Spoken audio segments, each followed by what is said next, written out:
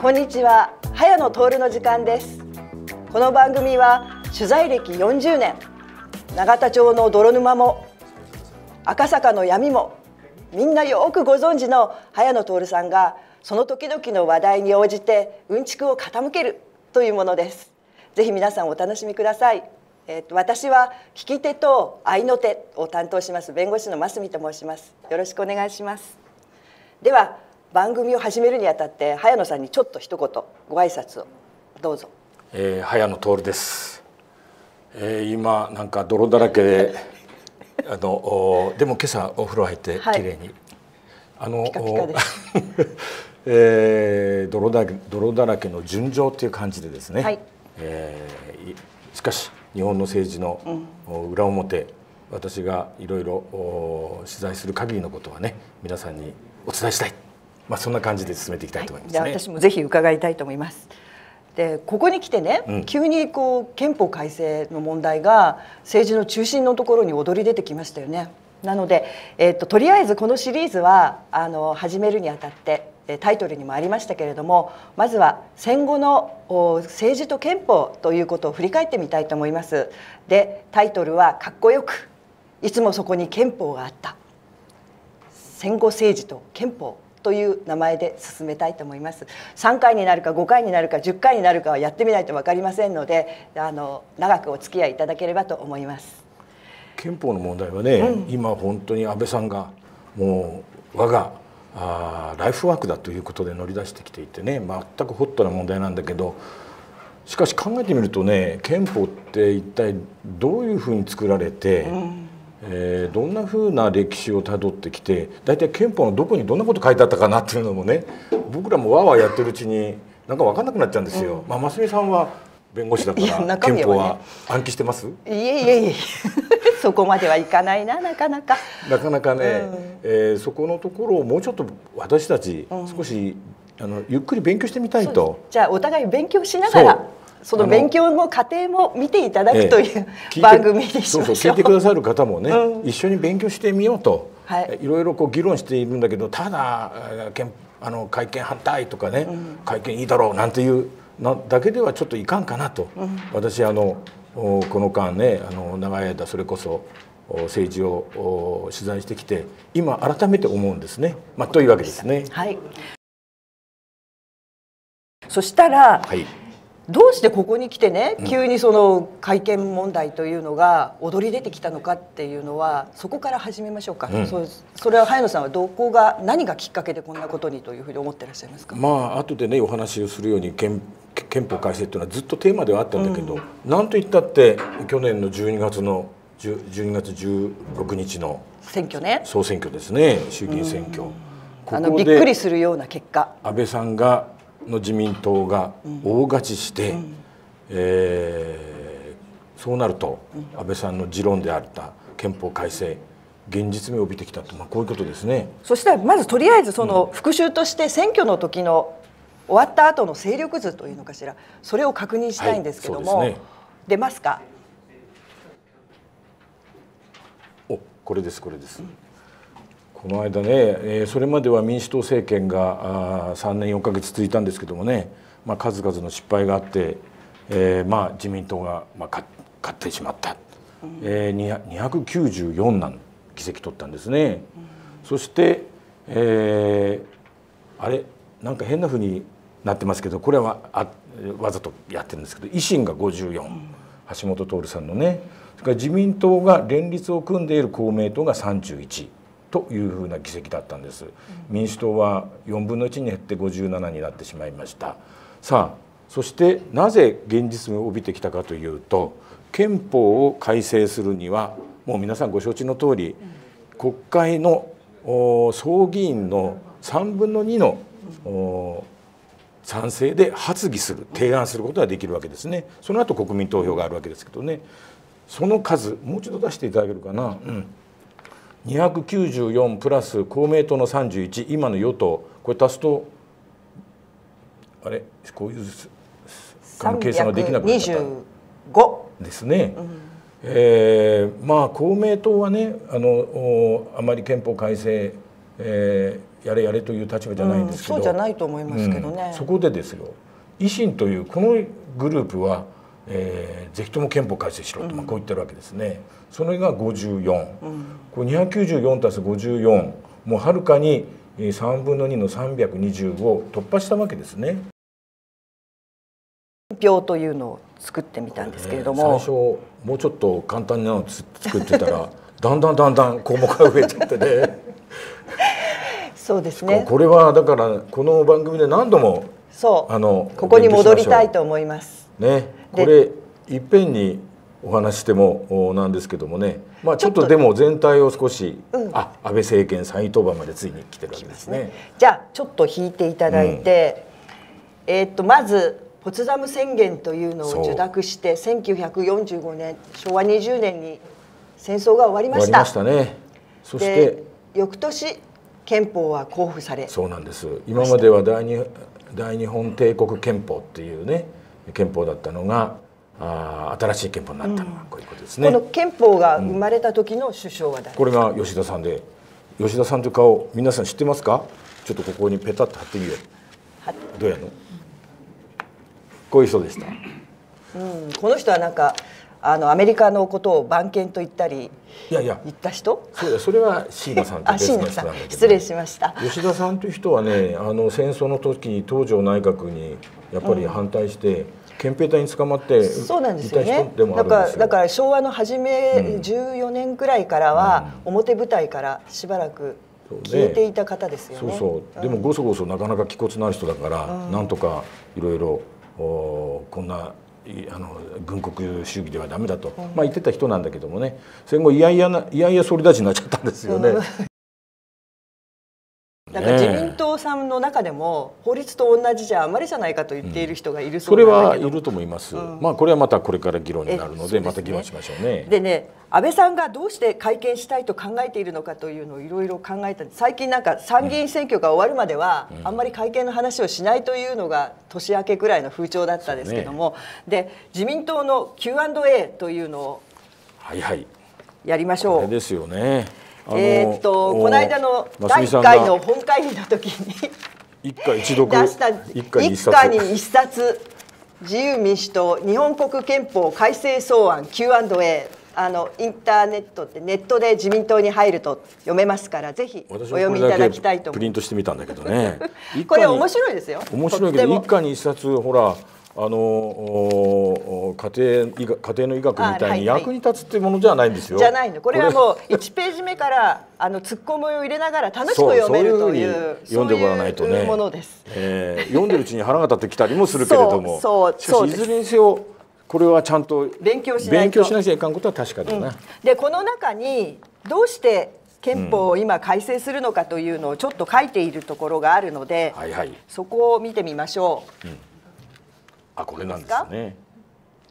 えー、っとね Q&A ですから Q の1というのがありましてなぜ今憲法を改正しなければならないのですか？自民党もなかなか分かりやすくね分かりやすい。やってんですよね。これ野党の時だからね、うん。うん、あのあまり警戒感もないの。ね、で、えー、っと真ん中辺の緑の下のところを見てください。で現行憲法は連合国軍の占領下において同司令部が指示した草案をもとにその領海の範囲において制定されたものです。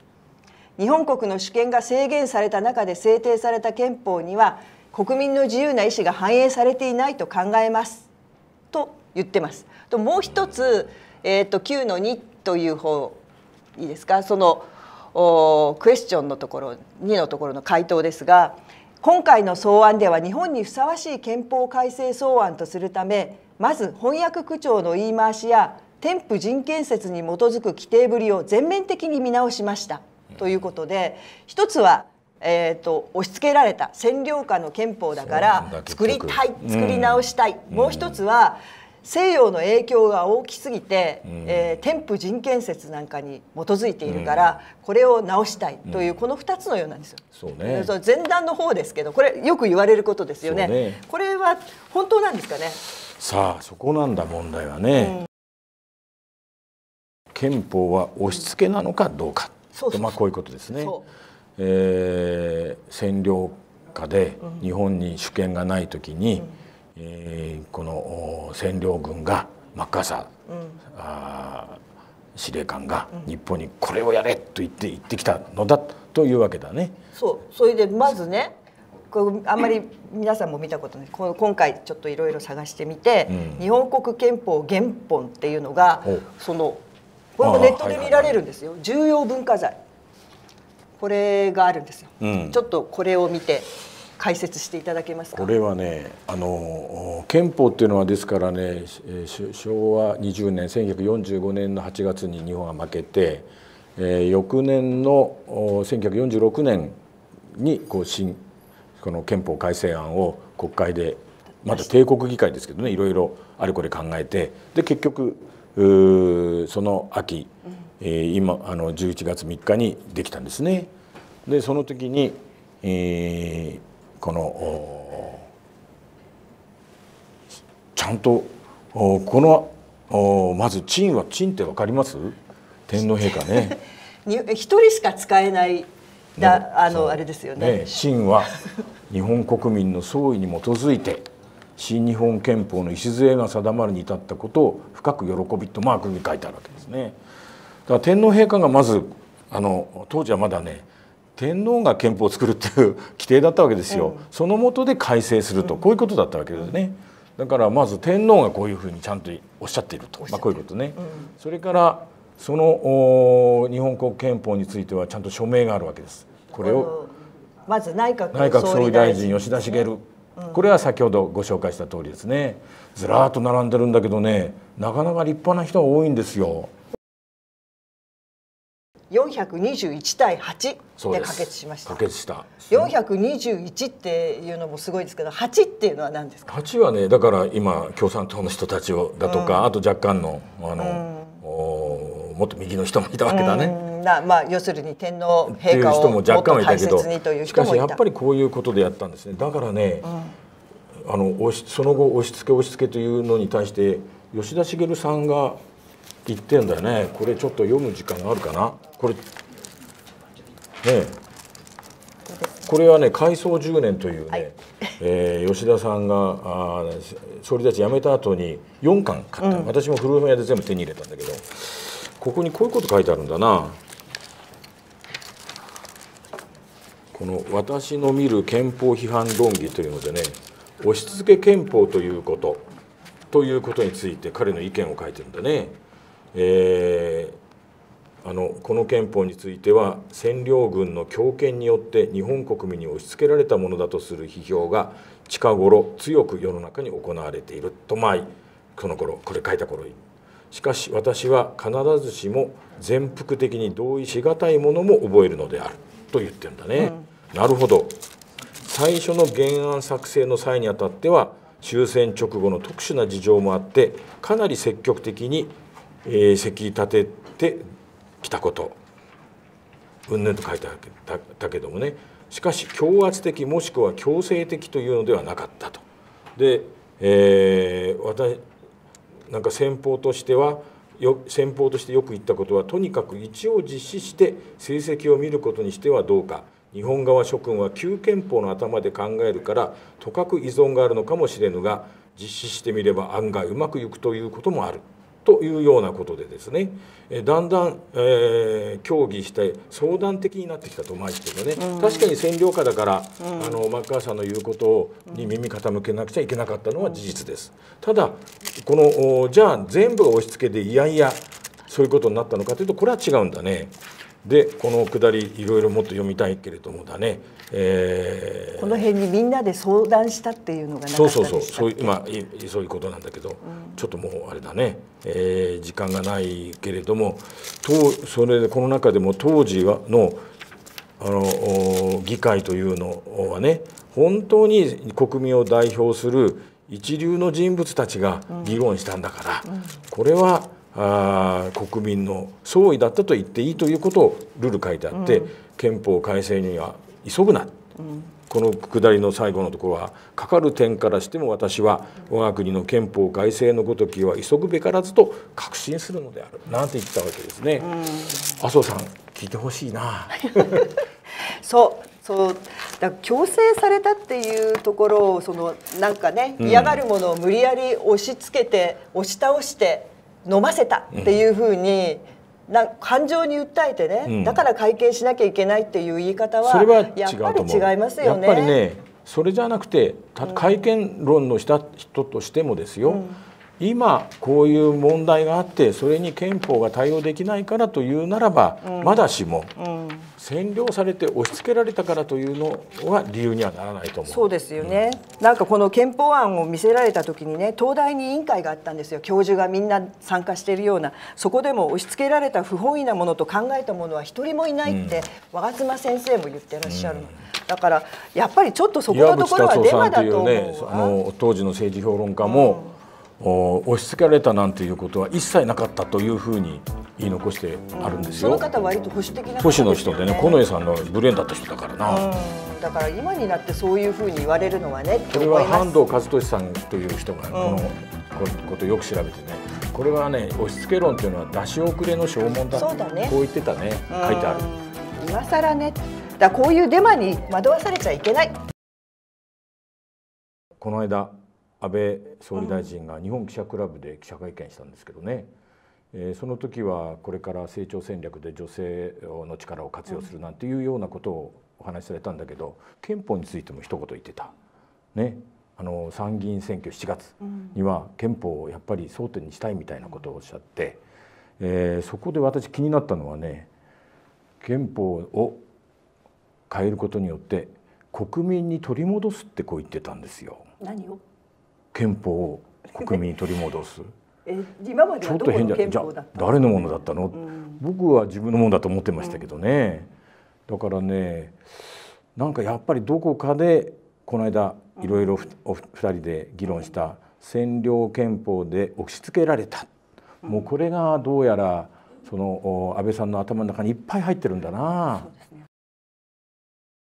民間の憲法案っていうのもいくつか上がっていて、うんえ。ー、その中のこの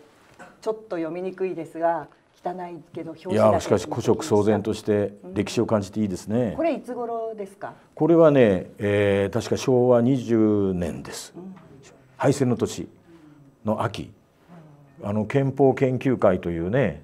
高野岩三郎馬場常子森戸達夫って後に文部大臣になったような人ですね。岩渕達夫っていうのは保守系のジャーナリスト。この間ちょっと紹介しましたが、えー、などそれから鈴木康三さんという7人の民間の人たちですね、うん、この人たちが新しい時代が来るならば新しい憲法だというようなことで自分たちで作った案なんですね。うんうん、なんかもう紙もなかなか、古いっていうか大変な時ですよね。紙自体がね。このページに載ってる驚くべきことはね、ええ天皇は国政をあと日本国の。統治権は日本国民より発すと、うん、それまでは天皇主権だったから、うん、これはもうね天地がひっくり返るわけだ、うん、日本の歴史の中で生み出したものなんですよ、なるほど。これは決して押し付けでも何でもない、国民主権もね、それでまあまあこれは言えばそのあの嘘つくわけにはいかないからあのマッカーサー、うん、三原則といってね、うん、えー、日本がそうやって頭が切り替わらないからもう新しい憲法こういうふうに作れというような指令出したことは事実です、これは事実です、ね。えー、だからといってこれは押し付けとは僕は言えない、なぜならこうやって日本の歴史の中で育てた芽が、でマッカーサーの GHQ はこの草案をよく調べ勉強してるんです。日本の中にこうやってあるじゃないかというので自分たちのマッカーサー草案も作ってみたという歴史的経緯はあるんですね。これ生存権の規定の元になるようなものも含まれてたんですよね。そう憲法25条。ね、昔朝日訴訟というのがありましたけどね。先進的なものだった、誰しも文文化的で、うん、なんだったっけ？最低限度の生活を営む。さすが弁護士だからちゃんと覚えてらっしゃる。はい、というのも含まれてました、ね、そうそう。えそれでこれなんかはマッカーサーなんか全然なかったんですよ。だってマッカーサーはアメリカ、うん、あそこはだって野垂れ死んでも自由ですから。あそうか新自由主義だね、うん、だから生存権っていうのは、まあ、だからこれは日本的なね、共同体の 発想の発展かもしれませんけどみんな助け合って生きるというのが憲法の精神だっていうのは憲法24条25条だ、うん、24条は男女平等だ。これからこれからゆっくり。出てきますけど、ね、この番組ではねあの先を急がず、はい、あの勉強をしていきたいと一緒にね、はい、と思います、うん、本当に。そしたらあ今度はその審理を一生懸命国会でやりましたよ。よくあの会見を叫ぶ人はね7日か8日かそこいらでできた憲法で中身もすごくいい加減だということを言うけどそんなことはなくて、うん、この間延々とやりましたが、うん、えー、復習するとお草案がでで要項を公表した後4月の10日に総選挙をして、うん、まず総選挙して。あ女性も参加する総選挙をしました。新しいメンバーでしかも女性も投票権を持つ日本国民を正当に代表する国会で憲法をちゃんと議論してもらおうと。こういうことだったんですね。そうですよね、うん、でえー、その国会に対して、えー、憲法草案が公表されてこれを審理することになりました。で昔の明治憲法もありますから一応枢密院まだ明治憲法の時代なんですよこれは。それで枢密院に行きその後衆議院で、えー、審理をしその後貴族院に行って枢密院に戻ってで最終的に新憲法交付ということになりました。そうですね。で衆議院の議論っていうのは、えー、結構いろいろ激しくやったんですよね。でこの間あの早野さんに伺ったのだとその軍備に関して自衛権の問題で、えー、共産党の野坂さんと吉田首相とが議論をした話とかありましたよね。あと野中さんは、うん、野坂さんはあむしろ軍軍備は撤廃はできないと自衛権はあるぞとまあこういうような感じだったけど、ね、吉田さんはそんなことし 理屈にそんなこと言ってたから戦争になっちゃったんだと、うん、まあ今から考えられない やり取りでした。ですけどね。で、だからこの8の大部分は共産党の反対票だったって、青票ですか、反対票ってなったんですよね。だからね、反対できたんです無論。うん、ね。だからその押し付けだ押し付けだっていう人ね、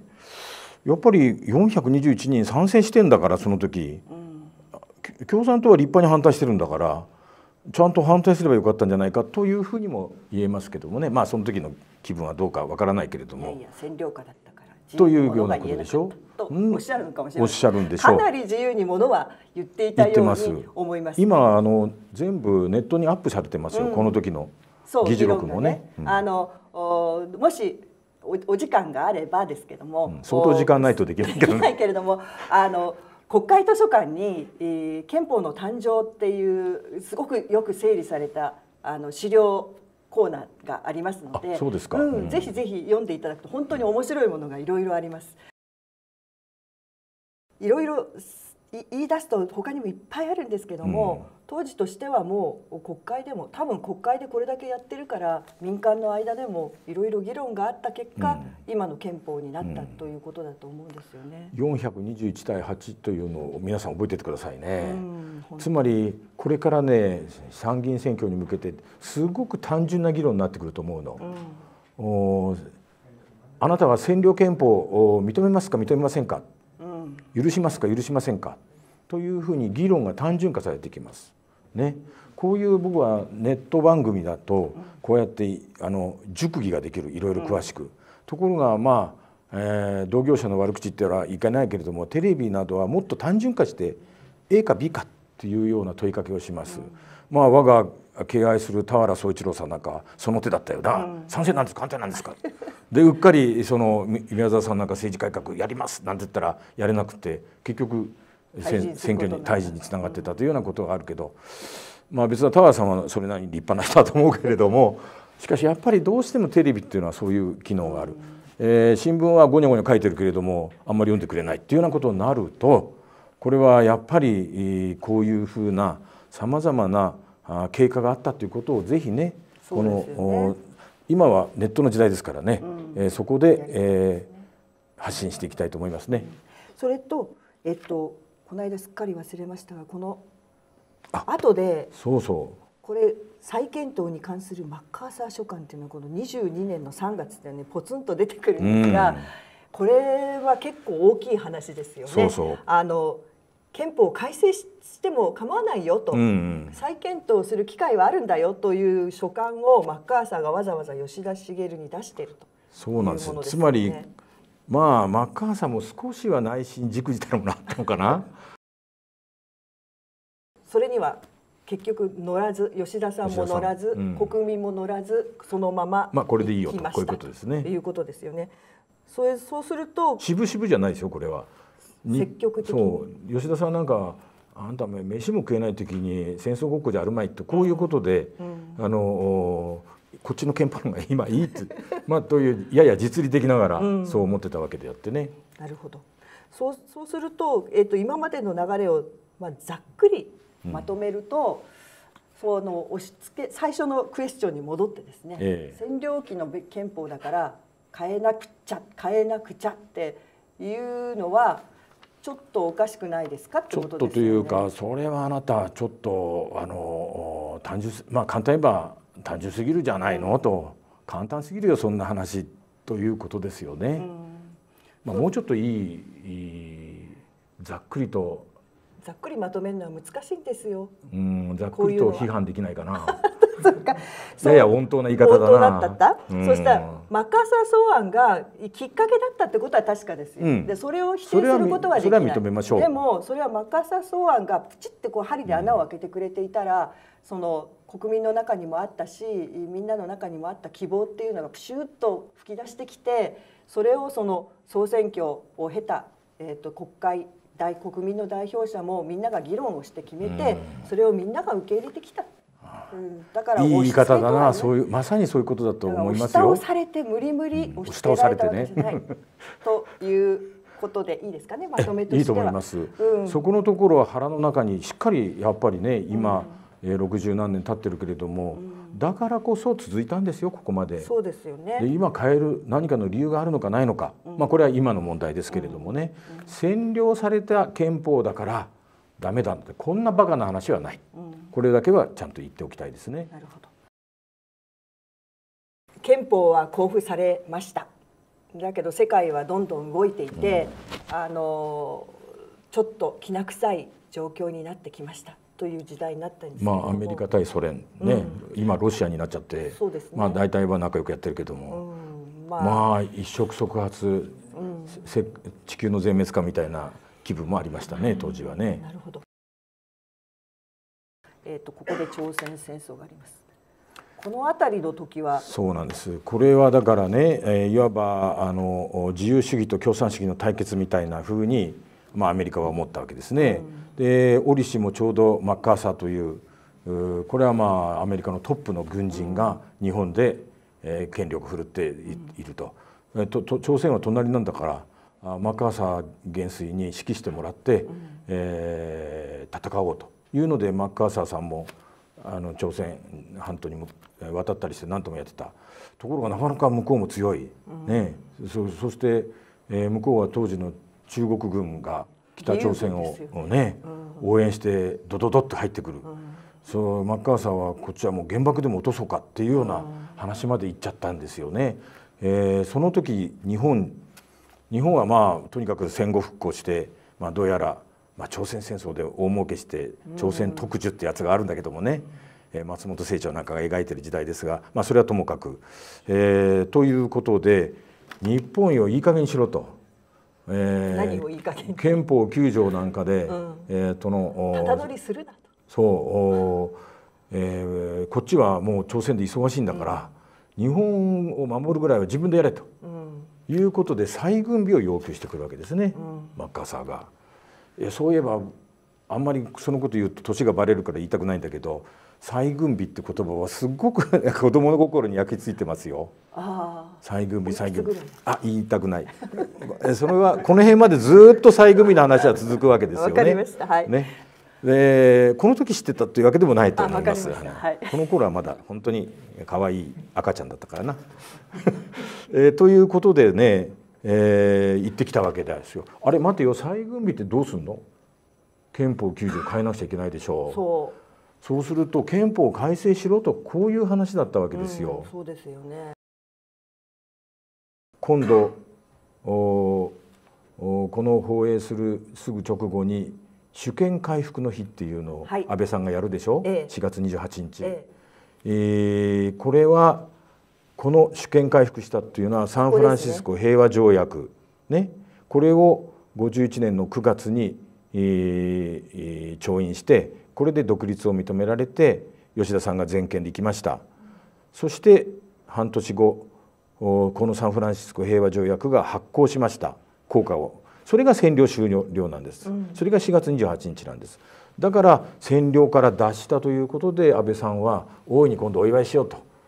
な、んで急に追い休んだか分かんないんだけども、うん、おこの間に占領された間に作られた憲法なんていうのは国民のものじゃないって言いたいんだなどうやら。うん、そうなんですね、ねうん、だからこのこの間の日本記者クラブでの講演の時に、国民に取り戻すっていうようなことを言ってるのはそういう意味なんでしょう。ただしよくでもないけど見てみれば同じ講和条約ができ調印した日に同じように吉田さんは日米安保条約も結んでるんです、うん、署名してるんです。うん、なるほどそうあの日本には軍隊がないんだから、うん、えー、じゃあその後今朝鮮戦争やってるさなかなんです。きな臭いことはきな臭い。今よりもっとですよ。ね、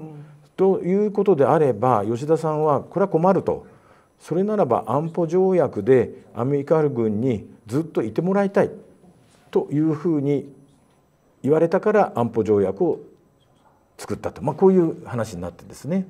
日本の9条の引き換えだと、まあ、こういう、うん、ところがどうも実際は違うアメリカ軍はこういう状況にいたわけだからどうかんどうしても日本の軍隊は根拠地として基地として朝鮮戦争への基地としてどうしたって必要なわけですよ。そうですよね。ね？独立したら普通軍隊を他国の軍隊はざっといなくなりますよね。そうそう。だからこれはサンフランシスコ条約にも書いてある。うん、確か、うん、90日以内に撤退って書いてあるんですよ。えー、ところがただし、えー、あのあのそうでない条約結べばいてもいいみたいなことが書いてあるんですね。それはもう伏線があって安保条約を結ぶということだったんですね。うん、これは要するに占領の継続なんですよ。これはねサンフランシスコ条約とほら平和条約を結ぶ時には一応与野党で行ったんですよ。うん、野党も行ったんです野党も行ったんだそれはやっぱり日本国全体で、うん、えー、の出来事ですからね、うん、野党も敬意を表して行ったでみんなそういうでまあ外交官なんかもワインでサンフランシスコでねあの乾杯してた。ところを吉田さんはこっそり抜け出してこっそり。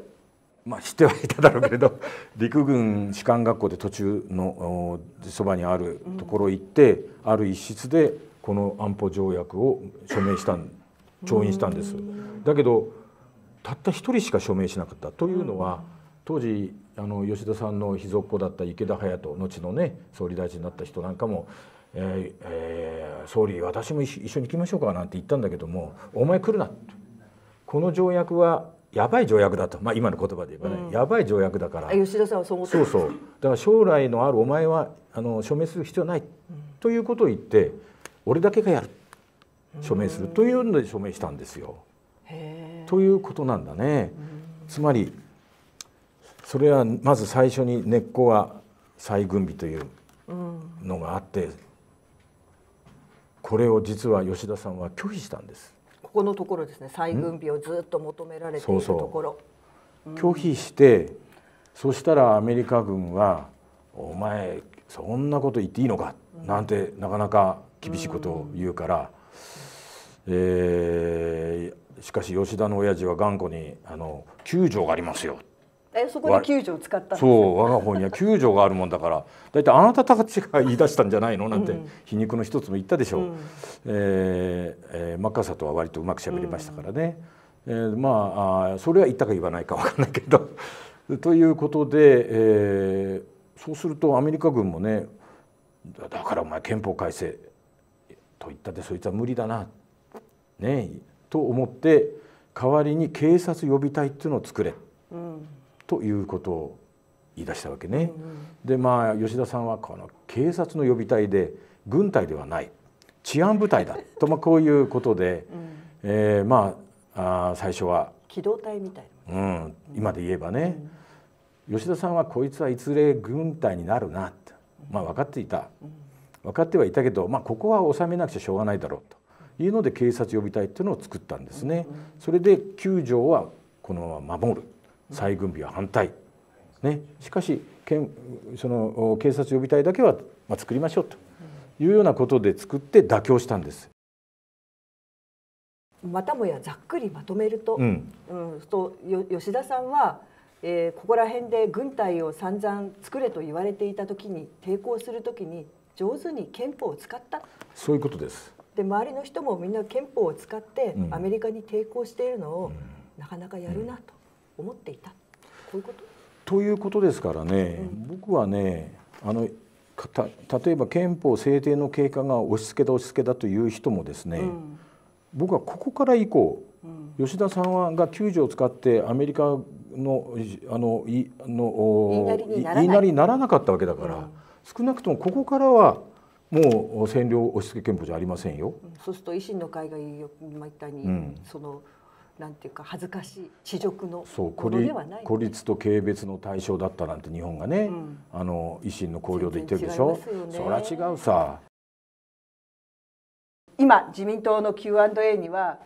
主権回復後60年も経ってしまいました。もっと早く憲法改正に着手するべきでしたが冷戦の間は憲法改正を口にすることもできませんでした。って書いてあるけど嘘ですよね。これは違う。散々口にしましたよね。つまり吉田さんの時代が終わると鳩山一郎さんになった、うん、鳩山一郎さんは憲法改正をスローガンにえー、選あの選挙に打って出たんですそう。でこの今度の安倍さんみたいなもんなんだよ。そうですよね、うん、この辺から鳩山さんがあと選えー、っと追放解除されて出てきて新しい政党がどんどん出てきて会見をずっと叫んでこういう状態で進んできた、ね、それから安倍さんのおじいさんの岸信介さんがあ巣鴨プリズンから出てくる、うん、政界の真ん中に乗り出す、うん、会見会見と